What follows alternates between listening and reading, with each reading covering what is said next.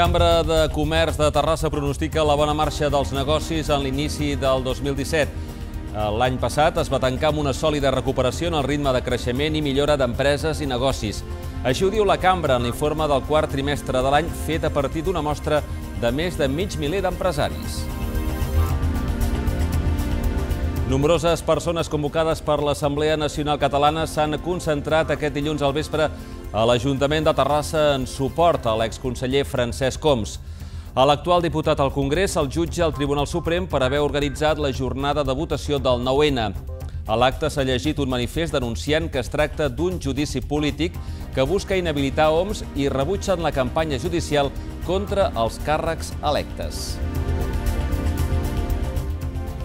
Comença la vetlla del rei Carnestoltes a l'atri de l'Ajuntament. Vídues i ploraneres custodien les despulles del rei del Carnestoltes just abans del dia 1 de març. Demà dimecres de cendre és quan se celebra a Terrassa un dels actes més singulars i espectaculars.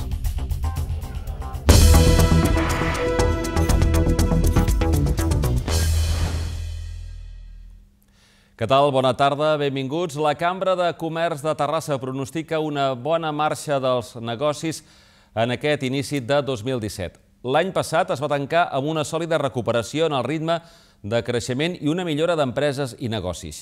Així ho diu la Cambra en el seu informe de conjuntura del quart trimestre de l'any. L'any 2016 tanca amb una sòlida recuperació en el ritme de creixement i millora d'empreses i negocis. Així ho diu la Cambra en el seu informe de conjuntura del quart trimestre de l'any, un document fet a partir d'una mostra de 519 empresaris. Les expectatives sobre els negocis es mantenen en valors positius per a tots els sectors d'activitat de la demarcació de Terrassa i pronostiquen que la marxa dels negocis durant el primer trimestre del 2017 continuarà a ritme de creixement. De forma significativa, l'activitat empresarial recupera el ritme de creixement experimentat dins el primer semestre de l'any i supera la lleu de ballada experimentada en el tercer trimestre.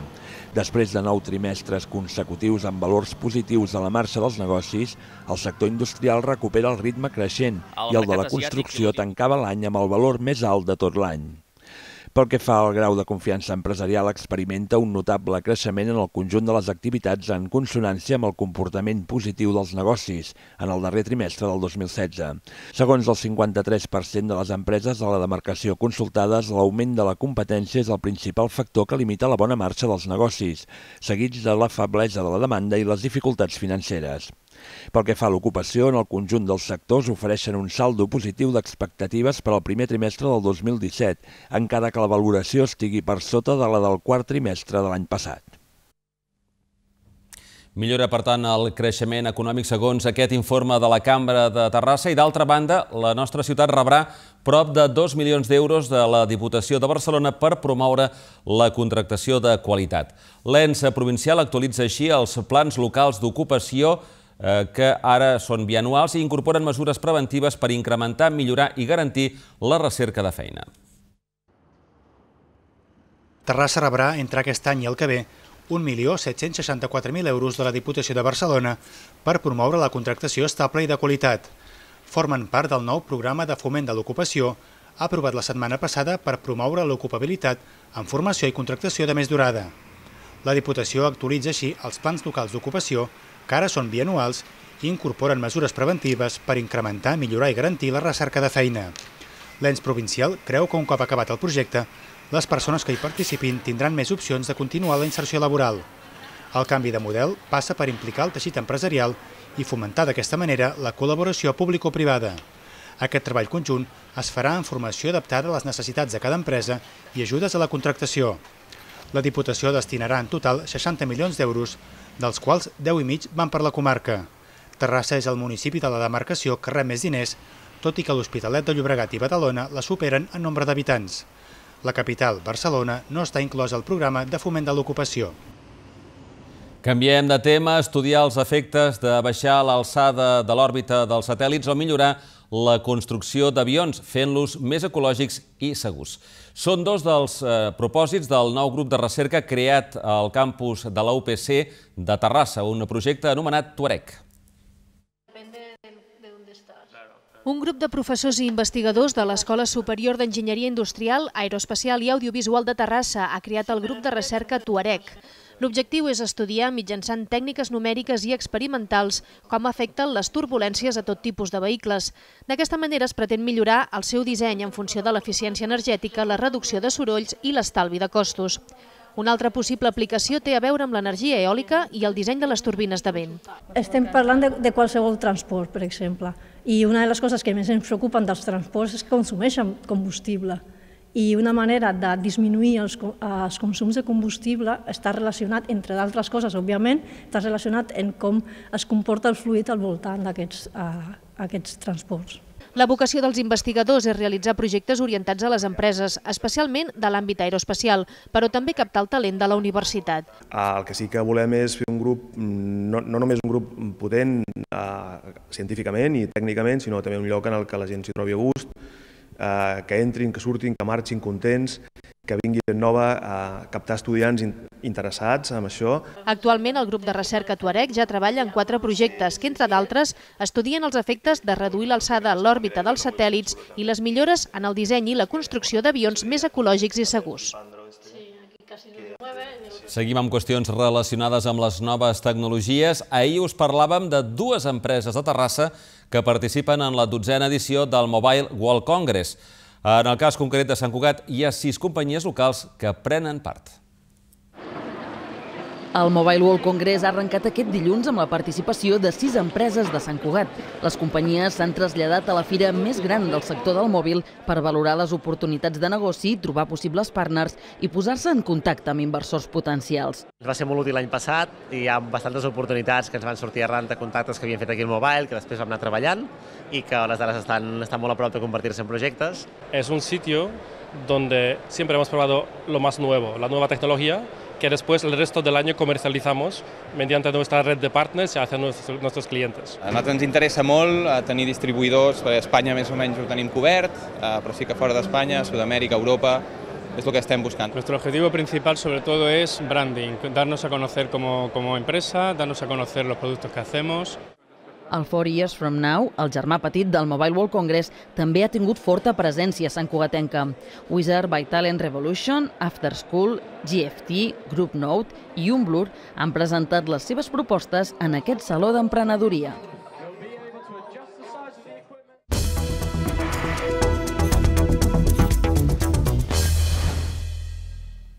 El Raval de Montserrat de Terrassa ha acollit aquest dilluns al vespre una concentració de suport a l'exconseller Francesc Coms. A l'acte s'ha llegit un manifest denunciant que es tracta d'un judici polític que busca inhabilitar OMS i rebutgen la campanya judicial contra els càrrecs electes. Nombroses persones convocades per l'Assemblea Nacional de Catalunya s'han concentrat aquest dilluns al vespre a l'Ajuntament en suport de l'exconseller Francesc Homs. A l'actual diputat al Congrés el jutja el Tribunal Suprem per haver organitzat la jornada de votació del 9-N. A l'acte s'ha llegit un manifest denunciant que es tracta d'un judici polític que busca inhabilitar Homs i rebutgen la campanya judicial contra els càrrecs electes. Perquè ens preocupa molt el tema de, la, de, de que la justícia tingui eh, mirades polítiques, no? o sigui, a l'hora de fer investigacions no sigui perquè hi ha una preocupació sobre fets, sinó que hi ha, evidentment, una intencionalitat política. I és el que ens preocupa. I en el cas aquest és un cas molt més greu per nosaltres perquè és un exconseller. Ara mateix és un diputat al Congrés, llavors, clar, és un càrrec electe, és una persona que ha rebut la nostra confiança, que en el seu moment va, uh, va contribuir a que sigui possible el 9-N i es, es troba en aquesta situació. És preocupant, diguéssim, a nivell de democràcia. No? És una qüestió de l'exercici de la llibertat dins de la comunitat. No? I la veu i l'opinió política és un dret bàsic i això fa democràcia. No? L'ANC també denuncia l'atac a les institucions catalanes perquè l'Estat no sap resoldre políticament el conflicte i exigeixen respecte per la voluntat majoritària a Catalunya de voler decidir el futur del país a les urnes. L'acte ha comptat amb el suport de nombrosos regidors de l'Ajuntament que van acabar l'acte amb la lectura d'un poema i el cant dels segadors. A Francesc Coms se l'ha començat a jutjar aquest dilluns a Madrid acusat de prevaricació i desobediència per haver contribuït a fer possible el 9-N. I mentre passava això, en un altre punt de la ciutat, el districte de Segon es debatia les societats acollidores de migrants i refugiats. Es tracta d'unes reflexions sobre un fet històric i universal que avui en dia està d'actualitat pel volum de persones desplaçades arreu del món i també pels brots de xenofòbia que de vegades provoca cap a una societat acollidora dels migrants i refugiats. Aquest és el títol d'un taller que s'ha fet aquest dilluns a la Biblioteca del Districte 2. Impulsat per Càritas i fet per Justícia i Pau, la xerrada està dirigida a nens i adolescents perquè entenguin millor el fet de les migracions a tot el món. Es tracta d'una reflexió sobre un fet històric i universal que avui en dia està d'actualitat pel volum de persones desplaçades a tot el món i pels brots de xenofòbia que a vegades desperta.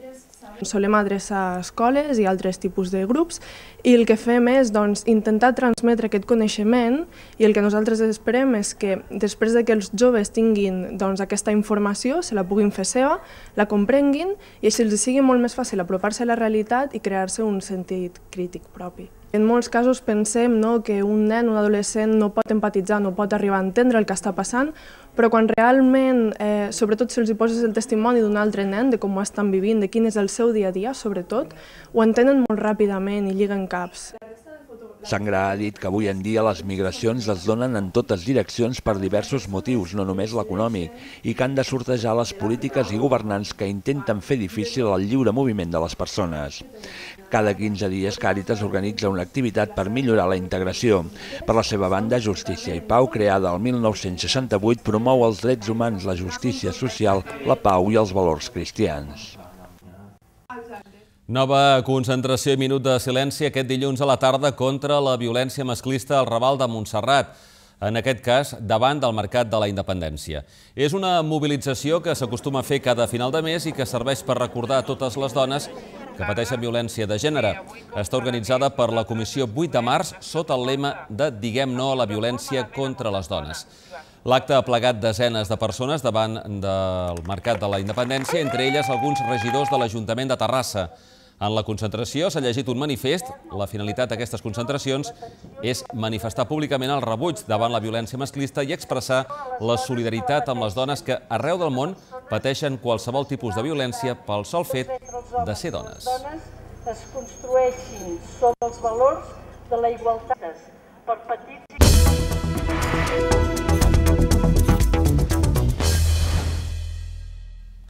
Des d'aquest dimarts no es pot aparcar al carrer Sant Isidre en el tram que va de Pantà a Sant Gaietà. L'Ajuntament ha pres aquesta decisió a petició del veïnat davant dels desperfectes ocasionats pel trànsit de camions en aquest punt. L'amplada de la calçada fa que els vehicles pesants hagin de pujar a la vorera i la fan malbé. Davant d'això, se suprimeixen les places d'aparcament del carrer per facilitar el pas. En concret, la mesura suposa l'eliminació de cinc places de zona blava i d'una zona de càrrega i descàrrega. La mesura, tot i haver estat desencadenada per les obres, es prendrà de manera definitiva per evitar que els desperfectes es reprodueixin en altres situacions.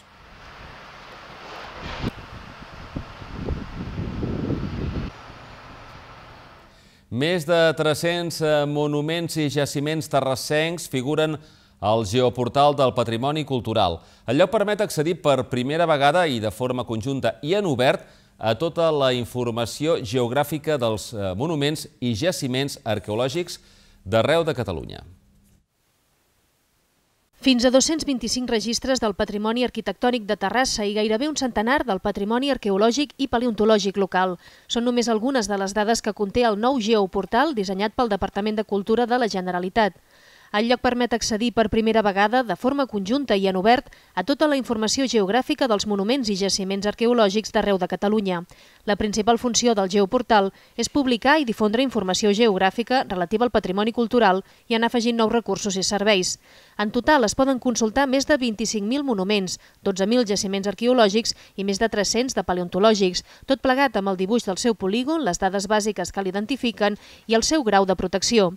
A través del visor, l'usuari pot navegar, analitzar i consultar la informació geogràfica de forma conjunta, mitjançant diferents eines i carregar serveis externs. El Geoportal del Patrimoni Cultural pretén oferir un instrument bàsic amb informació fonamental per la planificació i la gestió tant del patrimoni com de l'urbanisme i el turisme. El Parc de Sant Jordi ha estat el punt triat aquest dissabte per la celebració del tercer aniversari del Mercat de les Pusses de, eh, de Canaurell Comerç i Serveis. Al igual que en les edicions anteriors, s'han pogut trobar comerços, articles de segona mà i artesania. Les parades s'han repartit pel Parc de Sant Jordi, davant de l'accés a la Masia Freixa, al voltant de l'era i al costat del bar. Després de tres anys de Mercat de les Pusses, retornava amb un canvi d'imatge que va ser presentat el dia 7 de gener amb un mapping a la plaça del Progrés. Aprofitant que ha estat Carnestoltes, els visitants han pogut trobar parades decorades per l'ocasió i fins i tot algun paradista disfressat. Enguany han tornat a participar les associacions Una oportunitat com los demás, Todos contra la estifiotosis i Cors lluitadors de Dutxem.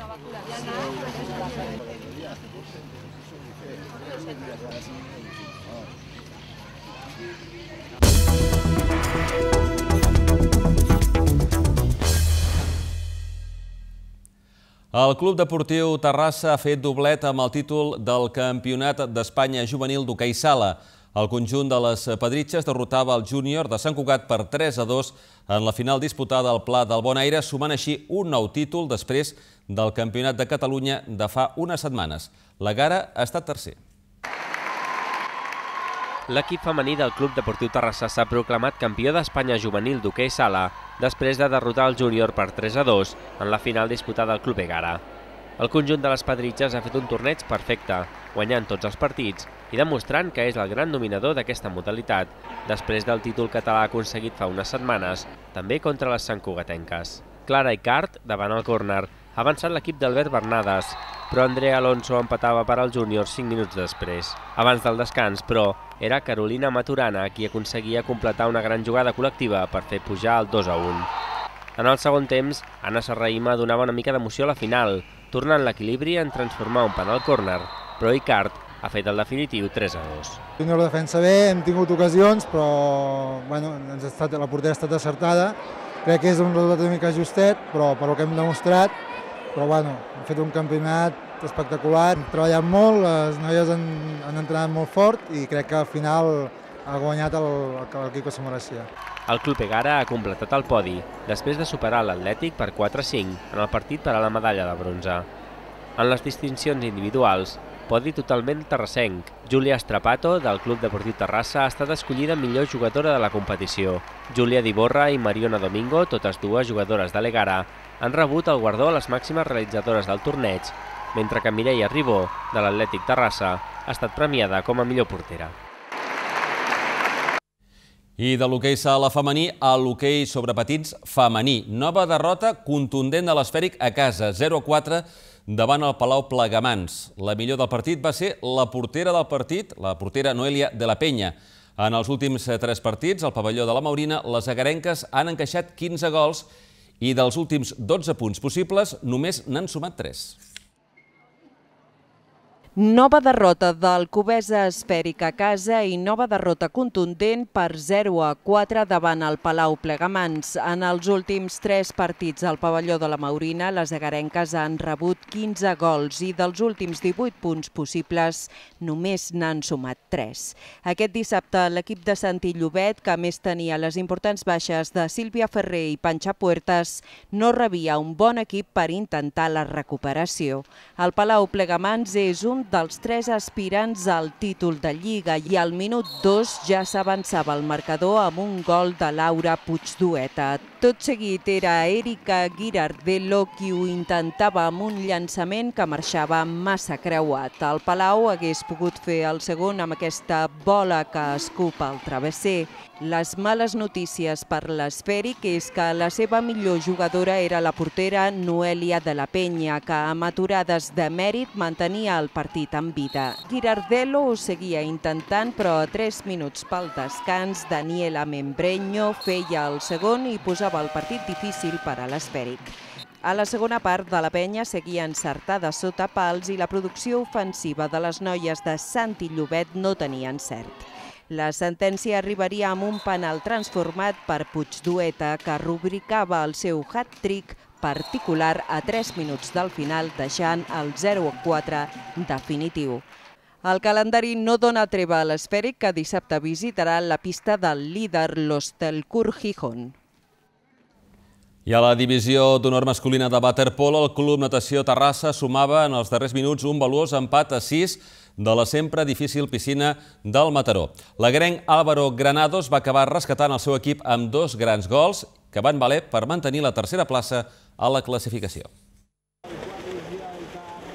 El Club Natació Terrassa ha aconseguit aquest dissabte un valuós empat a 6 a la piscina del quart classificat, el Mataró. Els agarencs, que conserven una jornada més al tercer lloc, han aconseguit emportar-se un punt en els darrers minuts. Els de Didac Kovacho han anat per davant en el marcador en el primer quart, però els mataronins sempre han acabat responent amb encert. Fran Sánchez ha fet el 0 a 1, però Ramiro Andrés ha tornat l'equilibri. Álvaro Granados, màxim golejador del partit amb tres dianes, ha col·locat l'1 a 2, però abans de finalitzar aquest primer període, Gustavo Guimaraes ha superat Iñaki Aguilar. En el segon quart, el Terrassa ha estat incapaç de batre Mario Lloret, mentre que Pol Barbena ha fet l'únic gol pel Mataró situant el 3-2 al descans.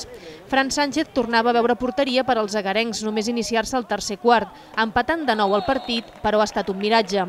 El Mataró jugava millor, movia amb més velocitat la pilota i ha aconseguit dues avantatges de dos gols, 5 a 3 i 6 a 4, però sense acabar de sentenciar el partit. Granados ha agafat la responsabilitat en atac en els últims minuts i amb dues accions consecutives ha rescatat un punt per al seu equip. Bueno, jo he vist que el Mataró jo crec que ha sigut superior a nosaltres durant tres quarts. Uh, nosaltres a l'últim quart ha sigut quan hem tornat a ser una, una miqueta a Terrassa, no? tenir una miqueta més de sortida de velocitat, jugar una miqueta més ràpid, però bueno, al final no em quedo jo amb aquest home més, em quedo amb les altres tres parts que no acabem d'arrencar bé els partits, no? de, que no acabem de, de tornar a ser una miqueta al Terrassa que érem, però bueno, a poc a poc, pues, a, avui com a mínim hem tingut l'última part que un altre cop ens hem tornat a ficar i com a mínim no se'ns han escapat els punts. Dissabte el Club Natació Terrassa rep un Real Canoe que ve d'empatar casa contra el segon, el Club Natació Sabadell.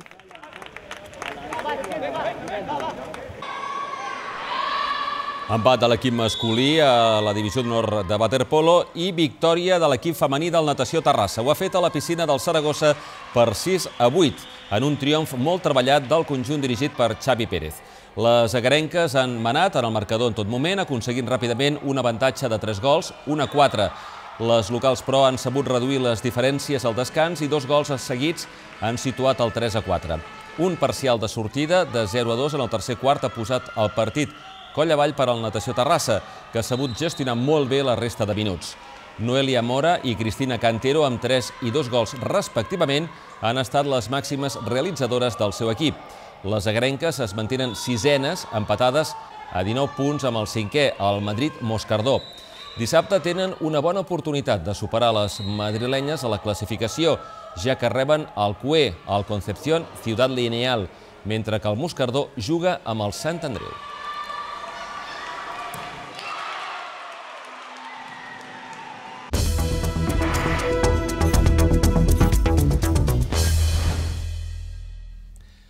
Després de les rues del cap de setmana, el Carnestoltes encara ja els seus últims dies.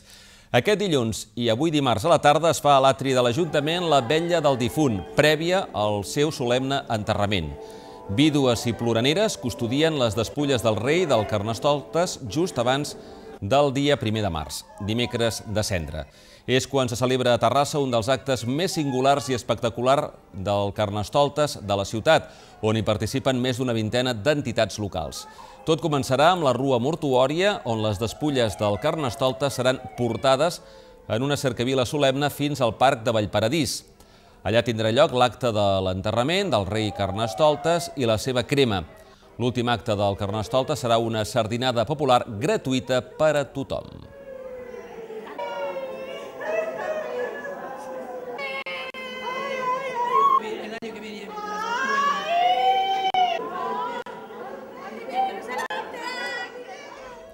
I ara teatre, l'edició número 43 del Premi Ciutat de Terrassa, seguit aquest diumenge amb la sisena funció. Ha estat amb l'obra Un marit ideal, d'Òscar Wilde, a càrrec del Teatre Figueres. La trama gira al voltant d'un subsecretari d'Estat, que és alhora un polític brillant i un perfecte cavaller. Tot plegat fa que sigui un marit ideal per a la seva dona. Davant de la resta de la societat, tots dos es mostren com un matrimoni ideal, aquesta harmonia, però, es veurà amenaçada per una malèvola i seductora dona. El Premi de Teatre que organitza el Casal de Sant Pere acull les millors companyies de teatre no professional de Catalunya que porten tot tipus de gèneres teatrals. La propera representació serà eh, diumenge vinent a les 6 de la tarda a la Sala Crespi del Casal de Sant Pere amb l'obra L'Hostalera de Carlo Goldoni a càrrec del grup artístic Carles Xena d'Arenys de Mar. Els teus defectes no voldria que em renunciessis a cap. Que parla que ets, però és que tu, tu sempre ets de mà. Doncs bé, amb aquesta informació de teatre arriba ja el moment d'acomiadar l'informatiu al dia. Gràcies per fer-nos costat durant tota aquesta estona. Tornem demà. Que vagi bé. Bona tarda.